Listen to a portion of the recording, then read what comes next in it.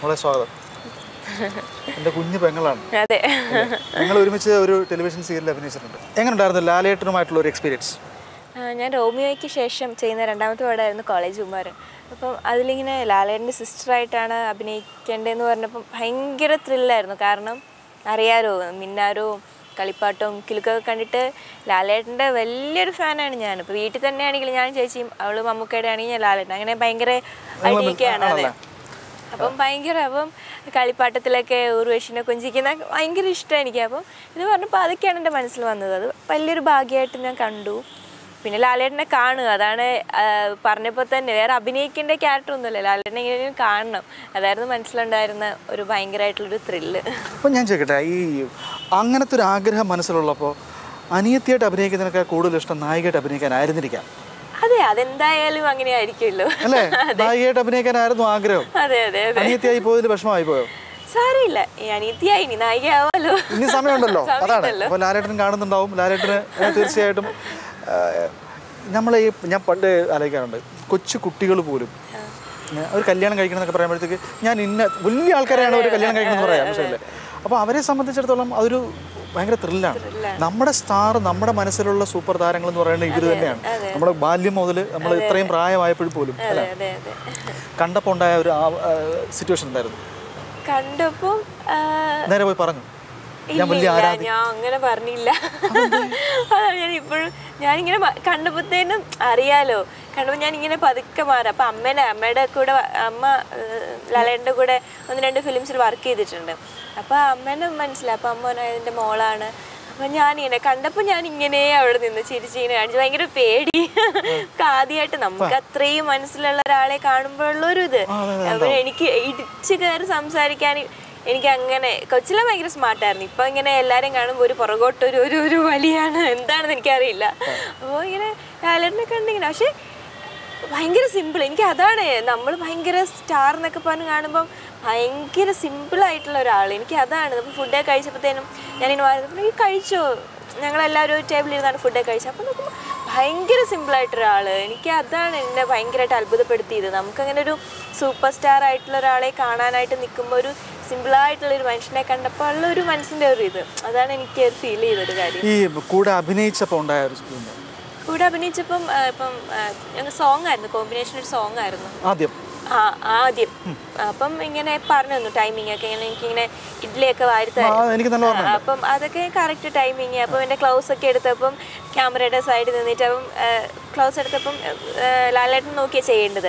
അപ്പം സാധാരണ ആണെങ്കിൽ നിൽക്കില്ല ലാലേട്ടന്റെ തന്നെ ഫേസ് ചെയ്ത്. ലാലേട്ടൻ ഇങ്ങനെ എക്സ്പ്രഷൻ കാണിച്ചപ്പോൾ ഞാൻ അങ്ങോട്ടുള്ള എക്സ്പ്രഷൻ അപ്പം അങ്ങനെയൊക്കെ ഒത്തിരി ഹെൽപ്പ് ചെയ്തു. അങ്ങനെ നമുക്ക് കൂടെ ചെയ്യാനായിട്ട് ഭയങ്കരമായിട്ടൊരു നല്ലൊരു കോപ്പറേറ്റീവ് ആണ്. എനിക്ക് അങ്ങനെ ഭയങ്കരമായിട്ട് തോന്നി. ഇപ്പം ചെറിയ ചെറിയ ടൈമിംഗ് ഒക്കെ അപ്പം ഇങ്ങനെ നോക്കി നന്നായിരിക്കും. ഡാൻസിന്റെ സ്റ്റെപ്പ് ഒക്കെ എടുത്തപ്പോൾ അങ്ങനെയൊക്കെ ഭയങ്കര ഒരു നല്ലൊരു എക്സ്പീരിയൻസ് ആയിരുന്നു. പക്ഷെ എനിക്ക് എനിക്ക് അതിനകത്ത് ഇതായിട്ട് തോന്നിയത് എത്രയോ വർഷത്തെ ഒരു പിന്നെ ചേട്ടൻ അനിയത്തി ബന്ധം ആ ഗാനത്തിൽ നിങ്ങളുടെ ഓരോ ചേഷ്ടകളിലും തോന്നി.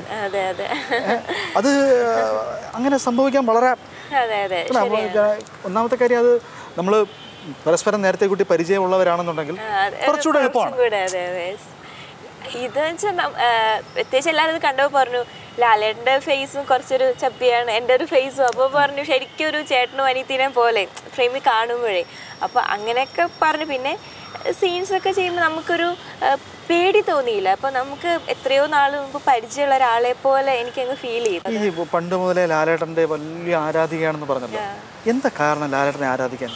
എനിക്ക് ഒന്നാമത്തെ കാര്യം എന്ന് പറഞ്ഞു കഴിഞ്ഞാൽ എനിക്ക് ഭയങ്കരമായിട്ട് ഭയങ്കര ഫ്ലെക്സിബിൾ ആണ്. ഏത് ക്യാരക്ടർ കൊടുത്താലും. പിന്നെ നമുക്ക് അങ്ങനെ ഒരു സൂപ്പർ സ്റ്റാർ എന്നുള്ളൊരു തോന്നില്ല. ഇപ്പോൾ ഫിലിം കണ്ടാൽ തന്നെ നമുക്കറിയുന്ന ആരോ. ഇപ്പം എനിക്ക് വെച്ചാൽ എനിക്ക് ഏറ്റവും ഇഷ്ടം എനിക്ക് ഉർവേശി മോഹൻലാൽ. ആ കോമ്പിനേഷൻ ഭയങ്കര ഇഷ്ടമാണ് വെച്ചാൽ ഉർവേശിനെ കൊഞ്ചിക്കുന്നതും എനിക്ക് അങ്ങനെയൊക്കെയുള്ള ഒരാളെ ഇഷ്ടം. ഭയങ്കരമായിട്ട് ഇങ്ങനെ കെയർ ചെയ്ത് കൊണ്ടു കിടക്കുക അങ്ങനെ കുറേ തമാശകൾ കാണിക്കുക. പിന്നെ ഡാൻസ് ആണെങ്കിലും അതൊക്കെ കാണുമ്പോൾ ഭയങ്കരമായിട്ട് നമ്മളുടെ ആരോ ഒരാളെ പോലെ അങ്ങനെ എനിക്ക് ഫീൽ ചെയ്യാറുണ്ട്.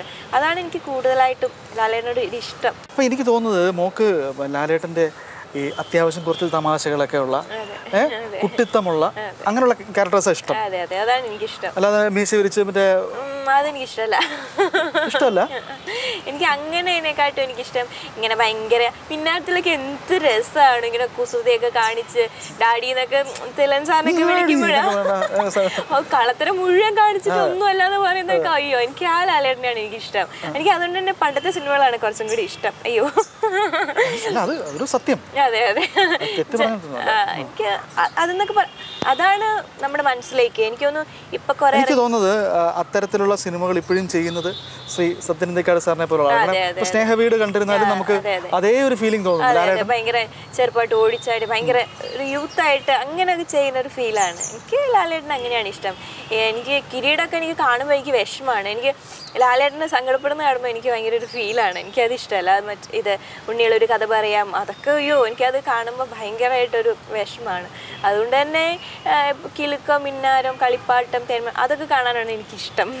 താളോട്ടൊക്കെ കണ്ടു കഴിഞ്ഞാൽ പിന്നെ കുറേ ഒരു ആഴ്ചത്തേക്ക് ഒരു വല്ലാത്തൊരു വിഷമമാണ് മനസ്സിന്. തമിഴിൽ നിന്ന് ഒരു ഓഫർ വരുന്ന വെക്കാം. തമിഴിൽ നിന്ന് ഒരു വലിയ സ്റ്റാർ വാല്യൂ ഉള്ള ഒരു വലിയ ആർട്ടിസ്റ്റിന്റെ കൂടെ അഭിനയിക്കാൻ ഒരു നായികയായിട്ട് അഭിനയിക്കാൻ ഓഫർ വരും. അതോടൊപ്പം തന്നെ പിന്നെ ലാലേട്ടന്റെ സിനിമയിൽ നായികയായിട്ട് അഭിനയിക്കാൻ ഓഫർ വരും. ഏത് ചൂസ് ചെയ്യും? അത് ചുമ്മാ അത് പറഞ്ഞാണ് കേട്ടോ.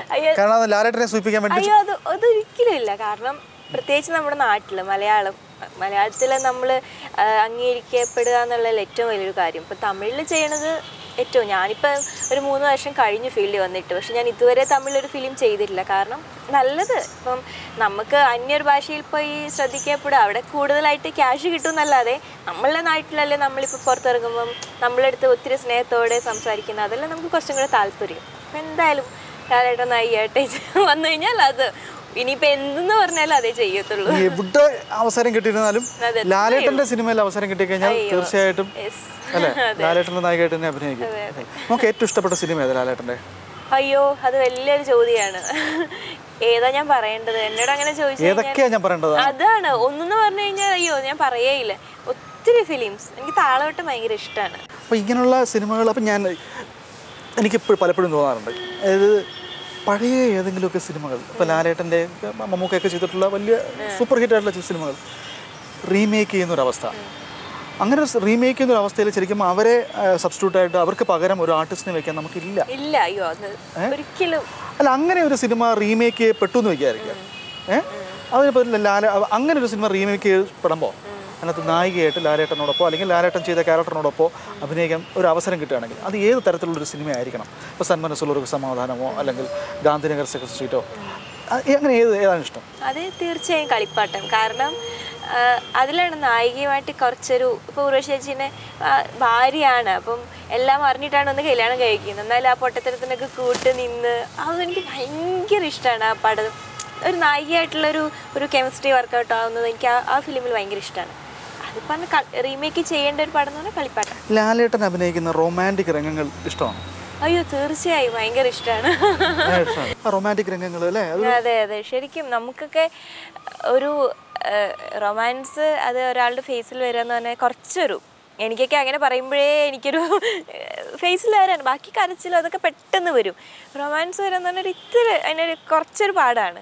അപ്പോൾ ലാലേട്ടനൊക്കെ കൂടെ അഭിനയിച്ചൊരു കഷ്ടപ്പെട്ടു. കാരണം അത്രയ്ക്ക് എക്സ്പ്രഷനാണ് നമുക്ക് കണ്ണിലാണ് ഭയങ്കരമായിട്ട് എക്സ്പ്രഷൻ കൊടുക്കുന്നത് അയ്യോ ഞാനൊക്കെ കാണുമ്പം ഭയങ്കര നമുക്ക് ആ സോങ് കാണുമ്പോൾ നമുക്ക് ഭയങ്കരമായിട്ട് ഫീൽ ചെയ്യും.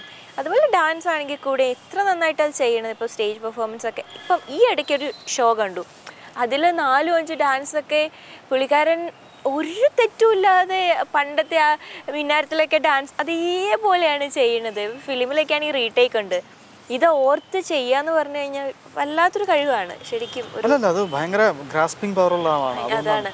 എനിക്ക് പക്ഷേ എനിക്ക് ലാലേട്ടന്റെ ഒരു ഇഷ്ടം തോന്നിയിട്ടുള്ളൊരു സംഭവം എന്ന് പറയുന്നത് ഈ ഡാൻസ് നമ്മൾ ഈ കോറിയോഗ്രാഫർ വന്ന് പഠിപ്പിച്ച് ഉള്ള ഡാൻസ് അപ്പൊ അങ്ങനെയുള്ള ഡാൻസുകൾ അല്ലാതെ ഈ ലാലേട്ടന്റെതായ ചില ഡാൻസ് ഉണ്ട് സ്റ്റെപ്പുകളുണ്ട് ഇപ്പം ധാങ്കിണക്ക ദില്ലൻ ദില്ലൻ എന്നൊക്കെ പറഞ്ഞിട്ടുള്ള സാധനം അത് അതുപോലെ തന്നെ കാക്കക്കുയിലുണ്ട്. കാക്കക്കുയിൽ കുറെ നല്ല അതൊരു വൈറ്റ് ഡ്രസ് ഭയങ്കര രസമാണ് നമുക്ക് എന്താ പറയാ പാട്ടിൽ നല്ല രസമാണ് ഒരു ഇങ്ങനെ കറങ്ങിയൊക്കെ വന്നിട്ട് ഇരുന്നിട്ടൊക്കെ ഒരു സ്റ്റെപ്പ്. ഭയങ്കര എന്താ പറയുക നമുക്ക് അതുകൊണ്ടാണ് സൂപ്പർ സ്റ്റാർ എന്ന് നമ്മൾ എല്ലാവരും അല്ലെ വിശേഷിപ്പിക്കുന്ന ഒരു ലാലേട്ടനെ കാണുമ്പോൾ അന്ന് നമ്മൾ ഈ കോളേജ് കുമാറിന്റെ ലൊക്കേഷനിൽ ലാലേട്ടനെ കാണുമ്പോൾ ലാലേട്ടന്റെ അടുത്ത് എന്തെങ്കിലും ചോദിക്കണമെന്നോ എന്തെങ്കിലും ലാലേട്ടന്റെ അടുത്ത് പറയണമെന്നോ ആഗ്രഹിച്ചിരുന്നോ? ഞാൻ എനിക്ക് അതാണ് ഞാൻ ഒന്നും ഒന്നും ഇത്രയൊക്കെ ആഗ്രഹിച്ചു കണ്ടപ്പോ തന്നെ എനിക്ക് ഒന്നും പറഞ്ഞില്ല. ഒന്നും പറഞ്ഞില്ല. പക്ഷെ മനസ്സിൽ എന്തെങ്കിലും മനസ്സിൽ ഉണ്ടായിരുന്നു. ഇങ്ങനെയൊക്കെ പറ ഇപ്പൊ ഞാൻ ഇങ്ങനെയൊക്കെ പറഞ്ഞില്ലേ? അതൊക്കെ പറയണമെന്നുണ്ടായിരുന്നു. ഞാൻ ഒരു അക്ഷരം മിണ്ടിയില്ല. എനിക്കറിയില്ല എന്താ പറ്റിയെന്ന്. ഞാനൊന്നും മിണ്ടില്ല ഞാൻ ഇങ്ങനെ ഇങ്ങനെയായിരുന്നു അവിടെ. എന്താന്ന് എനിക്കറിയില്ല. എനിക്ക് തോന്നുന്നു അങ്ങനെയൊന്നും എത്ര ദിവസം മോൾ കൂടെ എനിക്ക് സോങ് രണ്ട് ദിവസത്തെ കോമ്പിനേഷൻ സോങ് ആയിരുന്നല്ലോ അത്. രണ്ട് ദിവസത്തെ കോമ്പിനേഷൻ ഉണ്ടായിരുന്നുള്ളൂ. ലാലേട്ടൻ പാടിയിട്ടുള്ള പാട്ടുകളിൽ നമുക്ക് ഇഷ്ടപ്പെട്ട പാട്ടുകൾ ലാലേട്ടൻ പാടിയിട്ടുള്ള മോൾ പാട്ട് പാടുമല്ലോ പറയും പോലെ പിന്നെ ലാലേട്ടന്റെ പടത്തിൽ ഒരു പാട്ട് കൊണ്ട് പാടിക്കേ. അയ്യോ. അയ്യോ അത് വേണം. ഒരു കുഴപ്പമില്ല. മോൾ നന്നായി പാടുന്നല്ലേ? ഞാൻ ഞാൻ നമ്മൾ തന്നെ അപ്പുറത്തിരുന്ന് ഒരു ദിവസം പാടി അപ്പുറത്തിരുന്ന് പാടിയതാണ്. പിന്നെ ഇപ്പോഴാണെന്ന് കാണുന്നത്. കാണുന്നത്. പാടിക്കോ? ഏത് പാട്ടാണ് പാടേണ്ടത്? ലാലേട്ടന്റെ ഭയങ്കര വലിയ പാട്ടുകളൊന്നും എനിക്ക് പാടാൻ അറിയത്തില്ല. എനിക്ക് പറ്റാവുന്ന പാട്ട് ഞാൻ പാടാം. മതി. ലാലേട്ടന്റെ സിനിമയിലെ ഒരു നല്ല പാട്ടായിരിക്കണം കേട്ടോ. ലാലേട്ടന്റെ പടത്തിലല്ലേ ഉണ്ണികളെ ഒരു കഥ പറയാം. ഈ പുല്ലാം കുഴലിൽ കഥ പറയാം. ഉണ്ണികളെ ഒരു കഥ പറയാം. ഈ പുല്ലാം കുഴലിൽ കഥ പറയാം പുൽമീട്ടിലും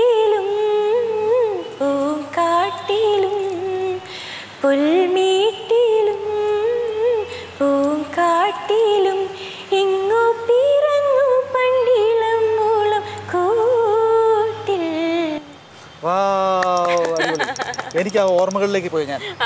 അഭിനയിച്ചിട്ടുള്ള സിനിമയാണ്. അതുകൊണ്ട് തന്നെ എനിക്ക് അതിലേക്ക് പോയി. അതെ. ഭാഗ്യ കേട്ടോ ആ ഫിലിമിലേക്ക് അഭിനയിക്കാം കാരണം എന്താണത്?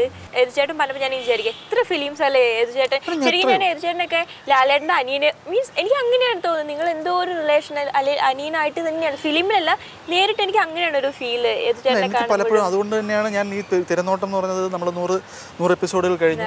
ഇപ്പോഴും നമ്മുടെ പ്രേക്ഷകരുടെയൊക്കെ മനസ്സിൽ ലാലേട്ടന്റെ ബ്രദറാണ് ഞാൻ എന്നുള്ളതുകൊണ്ടാണ് സത്യം. ഇതിന്റെ പ്രൊഡ്യൂസറും നമ്മുടെ എ സി വി ക്രൂവും എല്ലാം എന്നെ തന്നെ ഇതിന് ആങ്കറായിട്ട് വെച്ചിരിക്കുന്നത്? അതൊരു ശരിക്കും എനിക്കും അതൊരു വലിയ അഭിമാനമായിട്ട് ഫീൽ ചെയ്യാറുണ്ട്. കാരണം ലാലേട്ടന്റെ ബ്രദറാണ് ഞാൻ.